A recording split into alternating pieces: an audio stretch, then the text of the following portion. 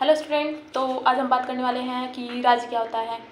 तो अगर हम देखते हैं तो सिंपली लोग कहते हैं कि राज्य बिहार, झारखंड, मध्य प्रदेश, बैंगलोर, इन्हें राज्य कहा जाएगा। तो इन्हें राज्य नहीं कहा जाएगा, ये गलत आंसर है। किसी भी पॉलिटिक्स स्टूडेंट के लिए बिल्कुल भी गलत आंसर है। अगर कोई आम व्यक्ति कहता है कि ये राज्य हैं तो ठीक है, कोई बात नहीं। लेकिन हम अगर पॉलिटिक्स पढ़ रहे हैं तो हमारे लिए ये जानना बहुत ज़रूरी है कि रियल में जो मीनिंग है राज्य की, वो क्या है। तो देखो, चार तत्वों से मिलकर बनते हैं राज्य पहला है जनता, यानी कि पीपुल, जो कि बहुत ज़रूरी है। और दूसरा है भूमि, यानी कि उसका एक निश्चित भूमि होना चाहिए लैंड होना चाहिए। और चौथा है सरकार, यानी कि वहाँ की जनता जो है, उसे चलाने के लिए सरकार की आवश्यकता होगी।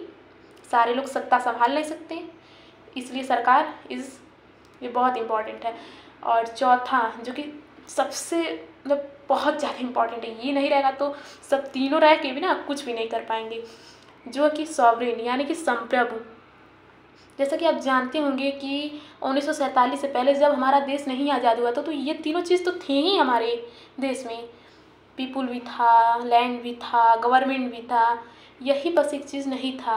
यानी कि अगर कोई भी हमें अपना निजी मामला एक्सटर्नल या इंटरनल कोई भी मामला हो, अगर लेना हो निर्णय तो हम किस पे आधारित थे? ब्रिटिशर्स पे आधारित थे।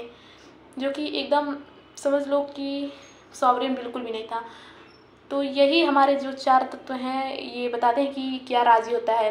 और ये जो बिहार झारखंड है ना तो ये राज्य नहीं है।